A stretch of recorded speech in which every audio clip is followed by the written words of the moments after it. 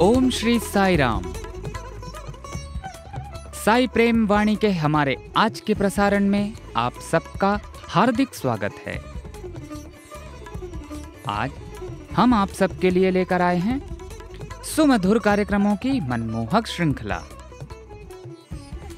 आज के प्रसारण में आप प्रेमावतार श्री सत्यसाई कार्यक्रम के अंतर्गत दिव्य जीवनी, सत्यम शिवम सुंदरम पुस्तिका में वर्णित भगवान बाबा के अलौकिक जीवन काल के कुछ प्रसंग एवं दिव्यानुभव के अंतर्गत एक वार्ता सुनेंगे। हम गान सरिता के तहत एक गीत भी प्रस्तुत करेंगे। तो चलिए, कार्यक्रम का शुभारंभ करते हैं।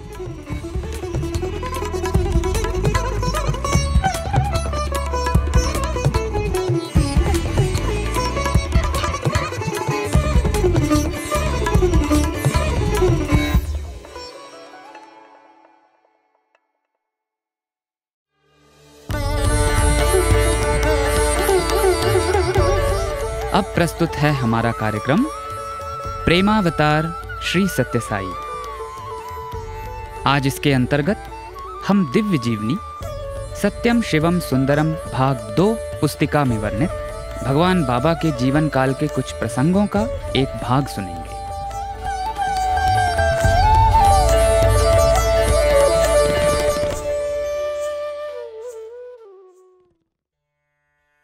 वास्तव में जिस सज्जन ने अपने अज्ञानवश बाबा को अपने समान प्रदर्शन करने वाले हठ योगियों की श्रेणी का ही समझ लिया था और बाबा को एक बहुविज्ञापित चमत्कार के लिए चुनौती दी थी।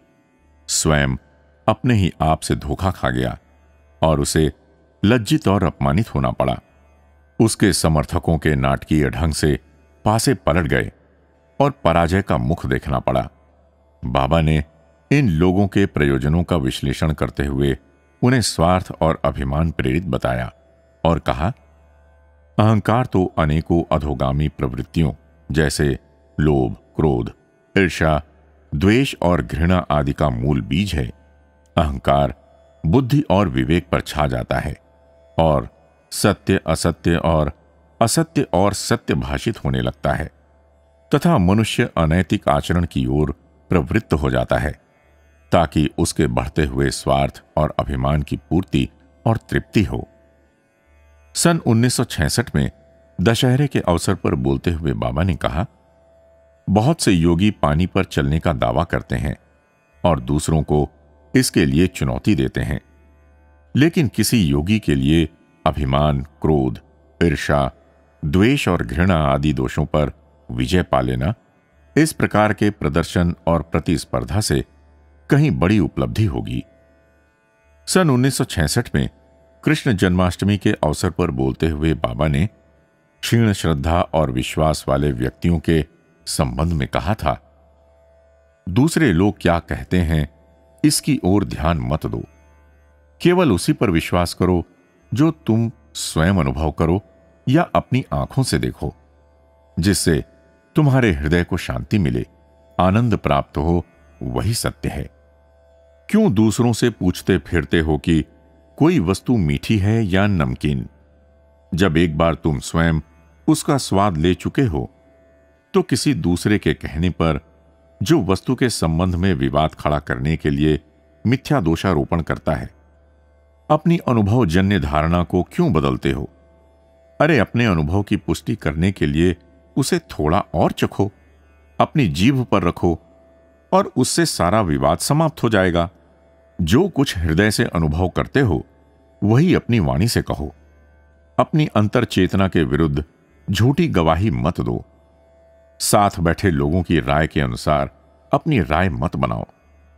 ऐसे पापी और दुष्टों के प्रति इतनी दया और प्रेम भगवान के अतिरिक्त भला कौन प्रकट कर सकता है?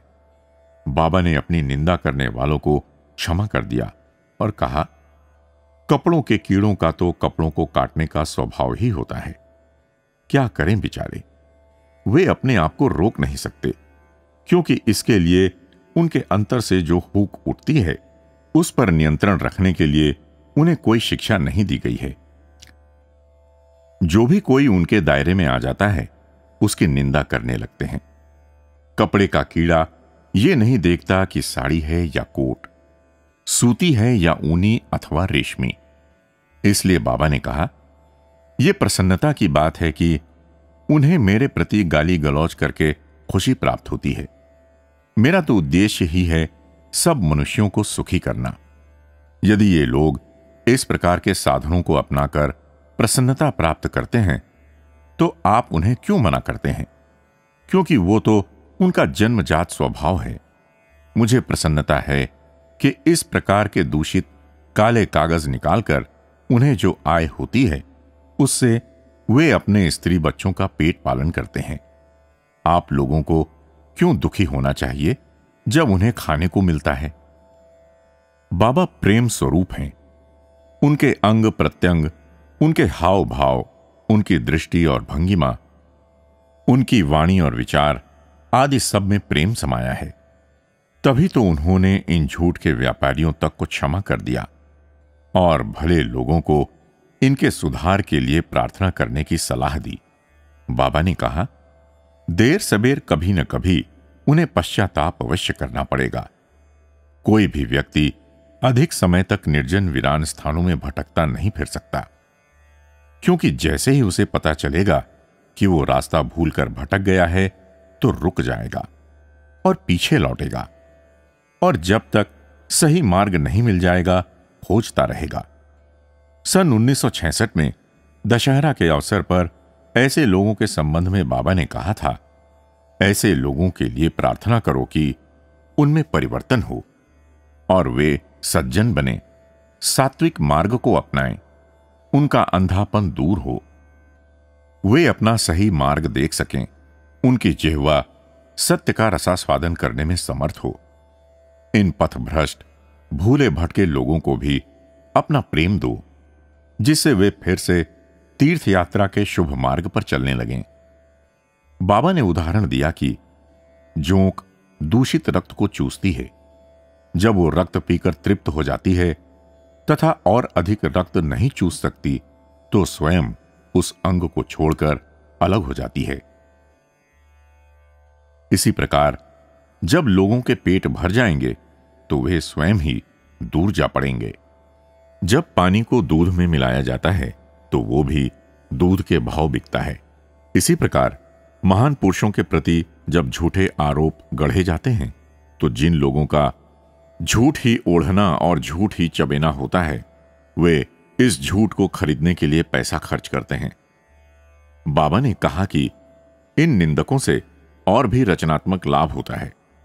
जब खलिहान में फ़सल को काटने के बाद अनाज से भूसे को अलग करने के लिए ऊपर से नीचे बरसाते हैं तो भूसा अलग होकर दूर गिर जाता है और अनाज के दानों का पास में ही ढेर लग जाता है। अनाज को इकट्ठा करके भंडार में रखते हैं और फिर उसकी रोटी बनाकर खाते हैं, जिससे हमें शक्ति प्राप्त होती है। ये लोग हवा करते हैं, बरसाते हैं, भूसे से अनाज को अलग करने के लिए। उन्हें अनाज नहीं भूसा बटोरना है। जिनके विश्वास की जड़ें गहरी और मज़बूत नहीं होती हैं, वे किसी भी बवंडर के उठने पर उखड़कर अलग जा गिरते हैं। किंतु जिनके विश्वास की जड़ें गहरी और मज़बूत होती हैं, वे तनिक भी नहीं हिलते तथा और अधिक सुदृढ़ और सबल हो जाते हैं।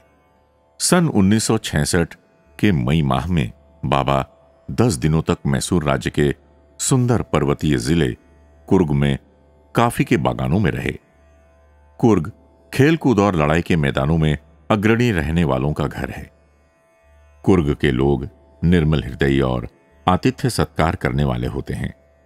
बाबा के दर्शनों के लिए बड़ी दूर दूर से लोग ऊँचे नीचे दुर्गम पहाड़ी मार्गों से होकर आए। बाबा ने प्रत्येक को अपने स्मित मुस्कान और आशीर्वाद से कृतार्थ किया। बाबा ने कुर्ग के बहुत से घर भी देखे और उन्हें अपनी उपस्थिति से प्रकाशित किया। जिस बंगले में बाबा ठहरे थे, वहाँ सदा कारों और बसों का तांता लगा रहता था और दूर दूर से लोग आते रहते थे। वहाँ से बाबा मद्रास होते हुए कुछ भक्तों को साथ लेकर एक दूसरे आरोग्यवर्धक पर्वतीय स्थल कुडई केनाल गए। वहाँ भी कुर्ग की भांति प्रातः और संध्या काल में भजनों का कार्यक्रम होता था, जिनमें हज़ारों लोग सामूहिक रूप से भगवान के नाम के संकीर्तन और यशोगान का आनंद लेते थे और बाबा के दर्शनों का सौभाग्य प्राप्त करते थे। बाबा ने वहाँ कहा था, मेरे यहाँ आने की कोई योजना नहीं थी, किंतु इन लोगों का सौभाग्य मुझे यहाँ खींच लाया। वहाँ से बाबा मदुराई नगर पधारे, जहाँ भक्तों ने साई बाबा मंदिर के चारों ओर एक उपनगरी का निर्माण कर लिया है। और उसे बाबा के प्रति सम्मानपूर्ण आभार अभिव्यक्ति में सत्य साई नगर एक्सटेंशन नाम दिया है। तीन दिनों तक सायंकाल तमिलनाडु के पंडितों के प्रवचन हुए और बाबा ने अपने अध्यक्षीय भाषणों में उनके द्वारा कही हुई बातों की व्याख्या की। मानसून की पहली वर्षा के साथ ही बाबा प्रशांति निलियम पहुँचे। गुरु पूर्णिमा का अवसर था और लगभग दस हज़ार लोग दर्शन के लिए एकत्रित थे। बाबा ने प्रत्येक को अमृत की कुछ बूंदें दी और साथ ही चेतावनी भी दी कि जिस जिह्वा से अमृत पान कर रहे हो, उससे कभी झूठ का स्वाद मत चखना। बाबा ने प्रशांति निलियम में स्टेट बैंक की शाखा का भी उद्घाटन किया, ताकि वहाँ के रहने वालों को तथा उन लोगों को जो वहाँ ठहरते हैं सुविधा रहे। बाबा ऐसे अवसरों को भी आध्यात्मिक सत्संग का रूप दे देते। उस अवसर पर बाबा ने कहा कि इस बैंक में रुपया दो और रुपया लो, लेकिन आध्यात्म के बैंक में केवल प्रेम दो और प्रेम लो। बाबा ने आगे कहा कि उस बैंक में भी जमा होता है और उसका हिसाब किताब गोपनीय रखा जाता है। छोटी सी छोटी वस्तु भी सुचारू रूप से जमा की जाती है और हिसाब रखा जाता है, चाहे वो विचार, कार्य, शब्द, व्यवहार भलाई बुराई, ईर्ष्या, द्वेष आदि गुण और दोष क्यों न हो? तत्काल सभी कुछ जमा हो जाता है और हिसाब रखा जाता है। अपनी स्वयं की सुरक्षा के लिए थोड़ा बहुत कुछ तो बचाओ। यहाँ जमा में धन लेते हैं, वहाँ ध्यान की पूंजी जमा करवानी होती है। बाबा के द्वारा कहा गया एक एक शब्द प्रकाश की कौंध थी, जिससे सत्य प्रकाशित और उजागर होता था।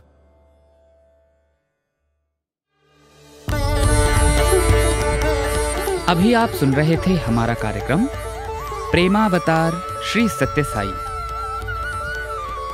आज दिव्य जीवनी सत्यम शिवम सुंदरम भाग दो पुस्तिका में वर्णित भगवान बाबा के जीवन काल के अलौकिक प्रसंगों का एक भाग प्रस्तुत किया गया था।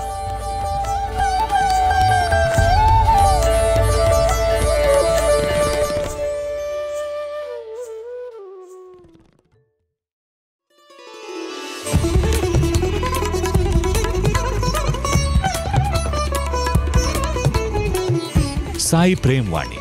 भगवान श्री सत्य साई बाबा का दिव्य संदेश अब हिंदी में।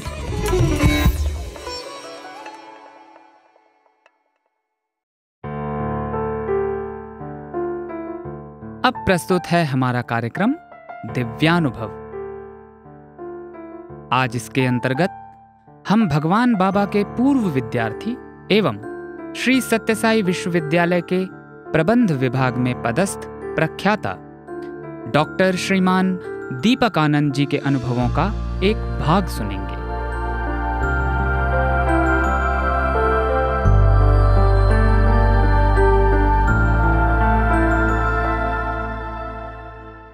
एक बार इस प्रकार हुआ कि हम यहाँ पर नर्सिस क्वार्टर्स बन रहे थे यहाँ पे। हमारे सुपर हॉस्पिटल के पास में। वो साई मनोन्मयी नर्सेस क्वार्टर्स के नाम से। जी। तो भगवान वहाँ पे जब कार्य चल रहा था तो भगवान बाबा को एक दिन लगा कि उनको जाकर उन सब जो वर्कर्स हैं जो वहाँ पे कार्यरत हैं इंजीनियर्स हैं उन्हें आशीर्वचन देना चाहिए उनको आशीर्वाद देना चाहिए। तो भगवान बाबा का हम मालूम चला कि बाबा जा रहे हैं वहाँ पे और बाबा की गाड़ी आकर खड़ी हो गई। तो जैसे ही भगवान बाबा चढ़ने लगे तो मैं और जो मेरे साथ में जो मेरा स्टूडेंट मेरा मित्र बैठा हुआ था हम बहुत प्रार्थना करने लगे, भगवान, हमें भी एक सुअवसर दीजिए, हमें भी एक सुअवसर दीजिए। तो भगवान बाबा ने हमारी ओर देखा और बोला हाँ आ जाओ। तो हम भी भगवान बाबा की गाड़ी में बैठकर, सत्य, सत्यजीत भैया भी थे और हम चारों जो हैं हम वहाँ पर गए और वहाँ पर भगवान बाबा ने इतने तहे दिल से सब मतलब वर्कर्स जो हैं, जो वहाँ पर जो कार्य कर रहे हैं, जो लेबर हैं, भगवान बाबा ने उनको इतना प्यार दिया, सबको पाद नमस्कार दिया, सबको कभी किसी को धोती, किसी को आ, साड़ी दे के भगवान बाबा ने इतना उनको कृतार्थ कर दिया कुछ कहने की बात नहीं। तो इस प्रकार जो है जो इसलिए हमारे मन के अंदर में यही था कि हमको पीएचडी चाहिए ही चाहिए। फिर भगवान बाबा ने जब हमें ये सुअवसर दिया पीएचडी का तो मेरे ख्याल से वो जीवन का बहुत बड़ा सुअवसर था। जी। और उस समय तक पिताजी भी आ गए थे हमारे पुटाप्रति जी। उनके आने का तो उनका एक और ही कहानी है। क्योंकि वो अभी अभी रिटायर हुए थे अपने एनसीईआरटी से जो कि national council of education research and training जो कि सीबीएसई सिलेबस की बुक्स बनाती हैं, उनका दिल्ली में उनका ऑफ़िस है, और अभी अभी रिटायर हुए थे। तो वो उस साल पुटापर्ती में आए। तो जब भी दर्शन में भगवान बाबा आते, और जहाँ पर बैठा होता मैं तो किसी ना किसी मेरे पड़ोसी बैठे हुए किसी अध्यापक से कहते, देखो, हमारा जो एडिटर है, नरसिम्हन, अभी तो बहुत बुज़ुर्ग हो गए हैं, उनसे कार्य नहीं हो पा रहा है, हमें एक नए एडिटर की ज़रूरत है। कोई तुमको मालूम हो तो बताना। तो मेरी ओर देखते, पर मुझे कुछ कहते नहीं। तो उस समय हमारे पिताजी सेवा के लिए आए हुए थे। मैंने कहा, पिताजी, बाबा तो रोज़ में देख कर कुछ ना कुछ इंडिकेशन दे रहे हैं कि शायद वो आपके लिए कुछ बात कर रहे हो। तो भगवान बाबा ने वो कुछ उस बारे में कहा नहीं तो हमने एक एप्लीकेशन लिखी और पिताजी ने चिरंजीव राव सर को वो एप्लीकेशन दे दी। उसके बाद में कुछ हुआ नहीं। करीब चार महीने बीत गए। अचानक ही भगवान बाबा एक दिन मेरे पास में लाइंस के बीच में से आए और मेरे पास में आकर खड़े हो गए। तो मैंने भगवान बाबा मैं अपने घुटनों पे खड़ा हुआ भगवान बाबा को मैंने प्रार्थना करी। मैंने कहा भगवान चार महीने पहले पिताजी ने एडिटर की पोस्ट के लिए पर्ची दिया था एप्लीकेशन दिया था भगवान क्या उनको बुलाने की ज़रूरत है या नहीं? तो भगवान बाबा ने मेरी ओर गंभीरता से देखा और बोला हाँ ज़रूरत है उन्हें फ़ौरन बुलाओ। और इमीजिएटली मैंने जाके फ़ोन किया पिताजी को कि आपको भगवान बाबा बुला रहे हैं एडिटर की पोस्ट के लिए आप जल्दी आ जाइए। और पिताजी हमारे वहाँ का कार्य समेटने में उनको आने में दस दिन लग गए। अब मेरी ये परेशानी कि भगवान बाबा रोज़ पूछ रहे हैं कि कभी आएगा फादर कभी आएगा फादर। और पिताजी ने टिकट बुक कराई ट्रेन की और बाई फ़्लाइट भी नहीं आए। तो मेरे लिए यहाँ बड़ी परेशानी हुई। जैसे ही पिताजी पुटापर्ती में आए भगवान बाबा ने फ़ौरन उनको बुलाया और बोला कि कार्य में लग जाओ। तो इस तरह से भगवान बाबा ने उस दिन जिस तरह से मैं उस समय एमबीए में ही था किस प्रकार से जो है पुटापर्ती को हमारा घर बना दिया। और उनके आते ही उनको संपादन के क्षेत्र में उन्हें कार्य दिया सेवा करने का मौका दिया और घर दिया और अपनी गाड़ी उस समय थोड़ा उनकी कमर में दर्द था तो हमें रोज़ अपनी गाड़ी उनको छोड़ने के लिए दर्शन के लिए भगवान बाबा भेजते थे सर पता नहीं आपने अभी इसने उसमें इसका ज़िक्र किया या नहीं किया शायद मैं भूल गया हूँ लेकिन तब भी मैं जानना चाहूँगा कि भगवान के साथ आपके परिवार को जो इंटरव्यू कभी मिला हो हम्म। कि आपने तो बताया कि बहुत सारे इंटरव्यूज़ आपको ऑलमोस्ट डेली बेसिस पे मिले हैं जब हम्म। आप वो ड्रामे ड्रामे के लिए या में किसी आपके लिए रोल भगवान ने हाँ, हाँ, हाँ। सुनिश्चित किया था हाँ। इस प्रकार के पारिवारिक सेटिंग में कोई इंटरव्यू जब भगवान में के साथ मिला हो उसका अनुभव हम्म। कैसा था पहली बार माता पिता के साथ हमारे धरती के माता पिता और हमारे जगत पिता उनके साथ हमारे बैठने का वार्तालाप में आपका कैसा अनुभव रहा उसके बारे में थोड़ा सा बताइए। हाँ बहुत अच्छा आपने पूछा अभिषेक। तो हमें बहुत सारे इंटरव्यू मिले सपरिवार भी। और जब पहला इंटरव्यू हुआ जब माता जी उस समय यहाँ पर नहीं आए पहले पिताजी आ गए तो माता जी को के बारे में मैंने पूछा भगवान से। भगवान ने कहा देखो उनकी गवर्नमेंट जॉब है इसलिए उनको रिटायरमेंट सही से लेना पड़ेगा वरना उनकी उनकी पेंशन में गड़बड़ होगा। इसलिए आप, आप माता जी को खबर भेजिए कि मैं उनके साथ हूँ हमेशा और वह सही प्रकार से जो है सही सही तरीके से अपना अपना रिटायरमेंट लें। तो जैसे ही हमारी माता जी भी यहाँ पर आ गई तो भगवान बाबा ने हमें इंटरव्यू रूम के लिए बुलाया। और उस समय इंटरव्यू में लेने के बाद में पिताजी को आशीर्वचन देने के बाद में माता जी की सारे प्रश्नों के जवाब देने के बाद में और माता जी के पास में हमेशा बहुत सारी फोटोएँ हुआ करती थी। जी जी जी। और बाबा कहते हैं कितना फ़ोटो लेके आता है माँ कितना फ़ोटो लेके आता है? हमेशा वो दस बारह वो कहते हैं स्वामी मैं अपने लिए नहीं मांग रही हूँ सब फोटोग्राफ मैं तो अपने सब जो डिवोटीज हैं मैं सब में बांट दूँगी क्योंकि आपका आशीर्वाद उन तक पहुंचेगा। बाबा कहते हैं ठीक है। तो माता जी ने किताब भी लिखी थी उसका नाम था तेरा तुझको अर्पण। हिंदी में किताब बाबा ने लिखी थी। तो वो किताब भी वो लेकर गई बाबा के पास में कि बाबा इसको आप अपना ब्लेस कर दीजिए। तो भगवान बाबा ने बोला इसका इंग्लिश में ट्रांसलेशन कभी होगा? तो उसने कहा स्वामी मेरे को तो अंग्रेज़ी आती ही नहीं है मैं कैसे करूँगी बाबा? ओह तुम्हारा लड़का जो है पीएचडी करता है पीएचडी के बाद में ट्रांसलेशन करता है। तो उस किताब का मैंने मैंने अनुवाद किया अंग्रेज़ी के अंदर में। अब उसका अनुवाद कई भाषाओं में हो चुका है। तेरा तुझको अर्पण। तो तो हम माता जी के कई कुंडलिनी के अनुभव हैं जो कि बहुत ही अलग अलग प्रकार से अनुभव हैं उनके। और कोडे कनाल के अंदर में भी भगवान बाबा ने मुझे दो बार ही कहा कि तुम अपने नहीं अपने माता जी के अनुभव सुनाओ। तो और फिर जब मैंने अनुभव सुनाए फिर बाबा ने अनिल कुमार सर को देखा और बोला अरे यही नहीं इनके माता जी के तो बहुत अनुभव हैं। तो इस प्रकार से भगवान बाबा हमेशा हमें एज अ फैमिली हमेशा हमें बुलाया करते थे। जी। सर फिर भगवान के विश्वविद्यालय में अध्यापन का सुअवसर आपको कैसे आया? जब पीएचडी भी खत्म होने आ रही होगी तब कुछ फिर से आपको लगा कि फिर से आपको इंटेंस साधना साधना पर प्रा- प्रार्थना करनी पड़ेगी। भगवान से। हाँ। या पहले ही रास्ता क्लियर हो गया था कुछ सुनिश्चित हो गया था कि भगवान के विश्वविद्यालय में ही अवसर मिलेगा। नहीं ऐसा सुनिश्चित कुछ नहीं होता है भगवान बाबा के साथ में। भगवान कहते हैं मेरा जो तुम्हारे साथ में रिश्ता है वो भक्त का नहीं है, तुम कहते हो कि तुम मेरे भक्त हो। पर मैंने कभी कहा है कि तुम मेरे भक्त हो। मैंने तुम्हें लिख के दिया गारंटी दिया कि तुम मेरे भक्त हो। भगवान बाबा ने बोला कोई मेरा भक्त भक्त से मेरा कोई रिश्ता नहीं है। मेरा रिश्ता सिर्फ़ भक्ति से है। जिस पर, जिस पल, जिस क्षण, जिस समय तुम्हारे मन के अंदर में तीव्र भक्ति है, उस समय मैं तुम्हारे साथ और जब तुम्हारे मन में भक्ति नहीं है, जब तुम्हारे मन में अविश्वास है, और भक्ति का मतलब क्या है? सरेंडर मतलब कि समर्पण कर दें हम तभी तो भक्ति है। जिसमें विभक्ति नहीं हो बाबा कहते हैं वही तो भक्ति है। जब हम चौबीसों घंटे भगवान बाबा को याद रखें हर पल हर क्षण को धन्यवाद करें और ना अपने भूतकाल के बारे में रोएँ ना ना ना भविष्य काल के बारे के अंदर में चिंता करें और आज के इस क्षण के अंदर भगवान बाबा में पूर्ण समर्पित होकर उनसे प्रेम करें।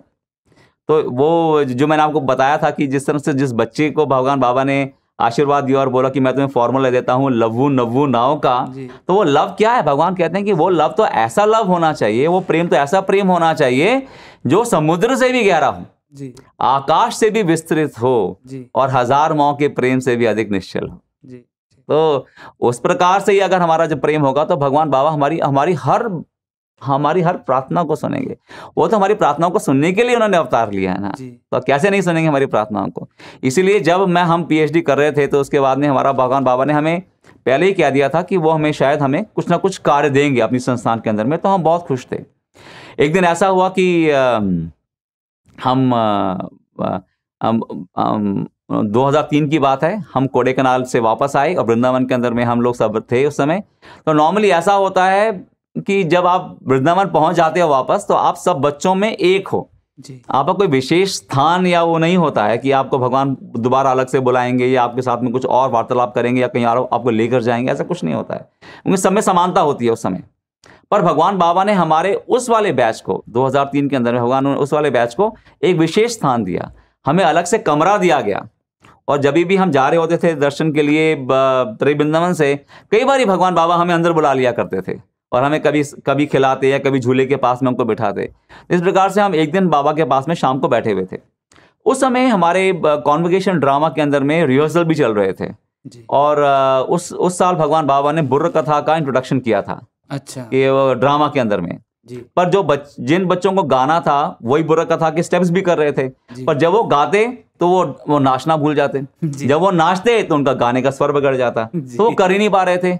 और उस समय तक भगवान बाबा का जो है हिप का ऑपरेशन हो चुका था क्योंकि भगवान बाबा गिर चुके थे। और भगवान बाबा ने अपने अपने पता नहीं किन किन बड़े विषयों को अपने ऊपर में लेके लाखों भक्तों को संरक्षण किया था। तो भगवान बाबा उस समय हमारे समक्ष बैठे हुए थे और भगवान बाबा जैसे ही वो उन्होंने गाना और शुरू किया बुरा कथा का रिहर्सल शुरू किया तो वो उन्होंने ठीक से कर नहीं पाए। तो भगवान बाबा मैं सामने ही बैठा बाबा की पाद सेवा कर रहा था। भगवान बाबा ने अपना हाथ बढ़ाया और मेरा हाथ पकड़कर खड़े हो गए और कहा थोड़ा पीछे जाओ। तो हम पीछे चले गए। तो भगवान बाबा ने पांडुरंग की तरह से बुरा कथा के स्टेप में अपने कमर पे हाथ रखकर भगवान बाबा ने अपने टूटे हुए कलवे के अपने हिप से ही नाचना शुरू कर दिया उन बच्चों को दिखाने के लिए। अब ये देखिए अभिषेक भगवान बाबा को उस समय कितना कष्ट था। भगवान बाबा चल नहीं पा रहे थे बिना सहारे के। मगर सिर्फ़ बच्चों को सिखाने के लिए वो नाचने तक के लिए तैयार है। देखो एक समय यह था कि भगवान कृष्ण छाछ के लिए भी नाचते थे। और आज ये समय है कि भगवान बाबा अपने बच्चों के थोड़े से सिखाने के लिए उनके सुख के लिए उनकी उनको मदद करने के लिए आज नाचने को तैयार हैं चाहे उनका खुद ही उनको इतना कष्ट हो रहा हो। जी। तो फिर भगवान बाबा जब बैठे तो हमको बहुत बुरा लगा कि भगवान बाबा ने थोड़ा सिखाने के लिए इतना कष्ट सहा होगा। जी। तो भगवान बाबा ने बात को आई गई कर दिया। अगले दिन भगवान बाबा ने हमें बुलाया रिसर्च स्कॉलर्स को और बोला देखो तुमको सब पुटापति फ़ौरन जाना होगा। तो हमने कहा बाबा आप हमें मत भेजिए भगवान आप हमें हम आपके साथ रहना चाहते हैं। तो भगवान बाबा नहीं तुम्हारे प्रिंसिपल का मैसेज आया है कि तुमको वहाँ पर ड्यूटी के लिए ज्वाइन करना है। तो हमने कहा बाबा आप कुछ ना कुछ तो तरकीब निकालिए कि हमको जाना ना पड़े और हम आपके सानिध्य में कुछ दिन और रह सकें। तो भगवान बाबा ने देखिए बहुत जैसे मैंने कहा बच्चों के साथ हैं भगवान बाबा बच्चे ही हैं। जी। तो उन्होंने अपने चेहरे पे हाथ रखा। हाँ कुछ सोचता है कुछ सोचता है करके। हाँ आइडिया कहते हैं आइडिया तो भगवान बाबा ने एक हमारे वहाँ के जो सीनियर हैं उनको बुलाया और कहा देखो पुटापर्ती के प्रिंसिपल को आप मैसेज भिजवा दो कि जो सारे रिसर्च स्कॉलर्स हैं ना आज से भगवान बाबा की सिक्योरिटी ड्यूटी पर पर आ, वो, वो, वो, उनको अपॉइंट किया गया लग गए हैं उनको। ओ, तो हम सब लोग सुन के हंसने लगे। कि जो भगवान पूरे ब्रह्मांड का संरक्षण कर रहे हैं हम उन्हें क्या संरक्षण देंगे? तो पर भगवान बाबा का नहीं नहीं तुम वहाँ से ड्यूटी पर हो और तुम दो लड़के जो हो तुम मेरे कमरे में सो जाना तुम दो बाहर सो जाना बाकी तुम चार पाँच जो हो, तुम नीचे सो जाना। त्रिय वृंदावन के अंदर में। तुम्हारी ड्यूटी आज से चालू हो जाती है। तो हमने कहा भगवान इससे बड़ा आशीर्वाद और क्या हो सकता है? तो तब उस समय भगवान बाबा के सानिध्य में के कमरे में ज़मीन पे सोने का जो सुअवसर था वो मेरे ख्याल से जीवन का सबसे बड़ा सुअवसर था। क्योंकि बहुत मेरे मन में भी उत्कंठा थी कि भगवान बाबा ने कई विद्यार्थियों को ऐसा सुअवसर दिया है कुछ कुछ समय के लिए। तो कभी हमको भी ऐसा सुअवसर मिल सकता है क्या हमारे मतलब सोच के भी बाहर था। जी जी जी। और भगवान बाबा ने अचानक ऐसे कह दिया तो बिल्कुल ही क्योंकि मेरा नंबर भगवान बाबा के कमरे में सोने का था। वाह वाह। तो मुझे बहुत अ, अच्छा लगा। तो उस दिन हम बहुत हम दोनों बच्चे जो अंदर सोने वाले थे हम बहुत सोच रहे थे कि पता नहीं क्या होने वाला है। अंतरिक्ष से कौन कौन सी जो है विचित्र विचित्र परियाँ और देवता उतरेंगे और मदर ईश्वर हम आके सोने की चेन देंगी सबको। मतलब हमने कुछ कहानियाँ सुनी हुई थी। भगवान बाबा के कमरे में कई चमत्कार होते हैं। जी। तो पहला दिन भगवान बाबा ने बोला छः बजे मेरे कमरे के बाहर पहुँच जाना। जी। छः बजने में पाँच मिनट पे। भगवान बाबा छः बजे ही लेट जाते हैं। विश्राम करने के लिए। अच्छा। भजन खत्म हुआ भगवान बाबा डिनर अपना कर लेते हैं वहीं पे ही जो थोड़ा बहुत खाते हैं भगवान उसके बाद में भगवान चलते हुए आते हैं और अपना भगवान आके विश्राम डायरेक्टली करते हैं अपने कमरे में।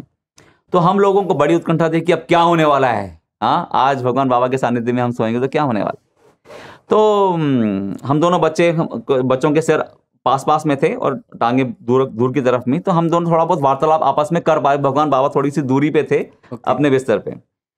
तो हमने कहा भाई ऐसा करो तुम जगाते रहना एक दूसरे को। कुछ भी नज़र में आए ना कोई भी तुम्हें प्रकाश नज़र आए कोई भी तुमको और कुछ वाणी सुनाई दे कुछ कुछ नाद स्वरम मतलब बजने लगे तो हम थोड़ा आपस में थोड़ा जगा देना कि ना कुछ मिस हो जाए कुछ इस तरह से।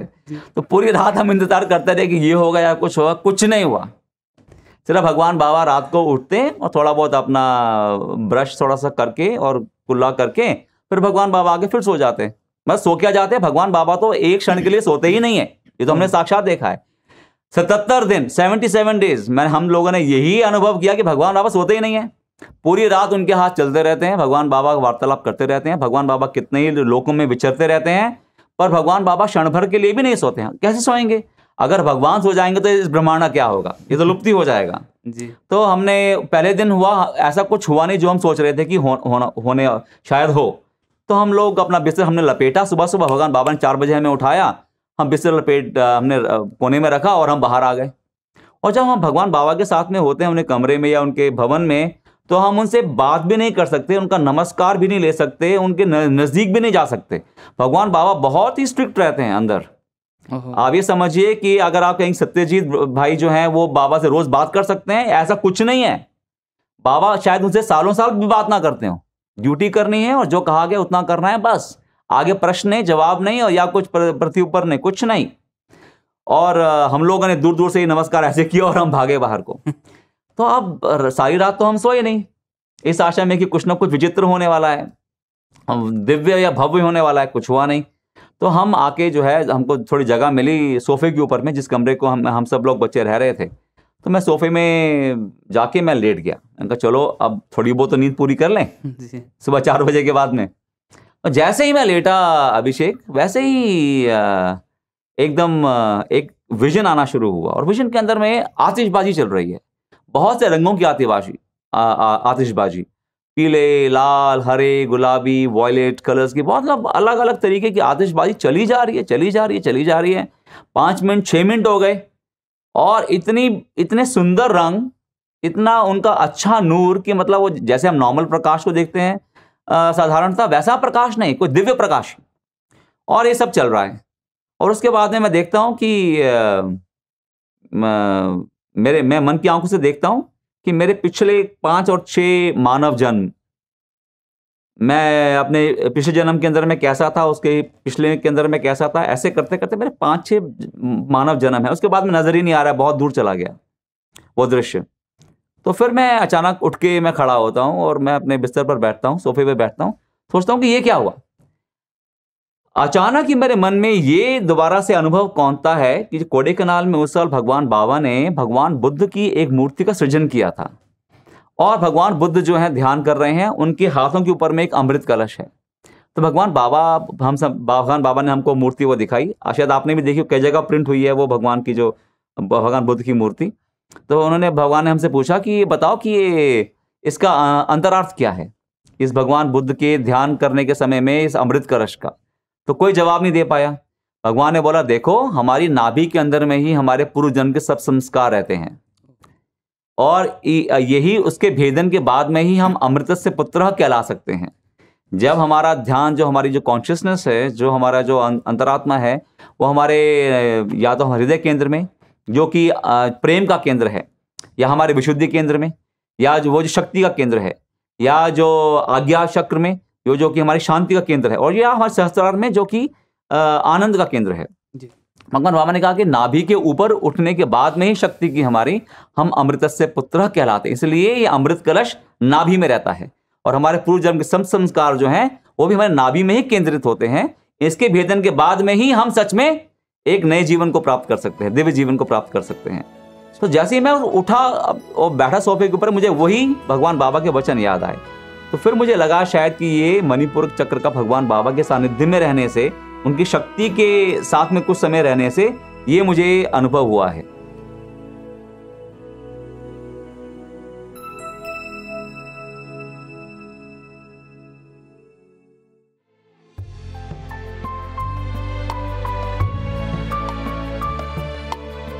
अभी आप सुन रहे थे हमारा कार्यक्रम दिव्यानुभव। आज इसके अंतर्गत भगवान बाबा के पूर्व विद्यार्थी एवं श्री सत्यसाई विश्वविद्यालय के प्रबंध विभाग में पदस्थ प्रख्याता डॉक्टर श्रीमान दीपक आनंद जी के अनुभवों का एक भाग प्रस्तुत किया गया था।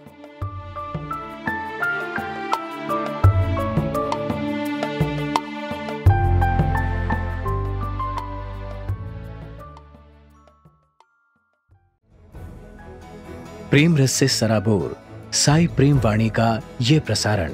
यहीं समाप्त होता है। उम्मीद है हमारा आज का कार्यक्रम आपको पसंद आया होगा। अपने सुझावों को हम तक ज़रूर भेजें। हमारा व्हाट्सएप नंबर है nine three nine three two five eight two five eight तिरानवे तिरानवे दो सौ अंठावन दो सौ अंठावन। हिंदी भाषा में हमारी ये सभी प्रस्तुतियाँ YouTube पर भी उपलब्ध हैं। इन्हें वहाँ देखने या सुनने के लिए हमारे YouTube चैनल को सब्सक्राइब करें और कमेंट बॉक्स में अपने सुझाव देना ना भूलें। भक्तगण जिस प्रकार गंगा जी का जल गंगा जी से लेकर गंगा जी में ही खड़े रहकर गंगा जी को ही अर्पित करते हैं, उसी प्रकार हे स्वामी, आपकी प्रेरणा और नियंत्रण में बना ये प्रसारण आपको ही समर्पित है। हम आपसे ऐसे ही शुभ अवसर पाते रहें। इसी कामना के साथ ये प्रसारण समाप्त करते हैं। धन्यवाद। और सप्रेम साई राम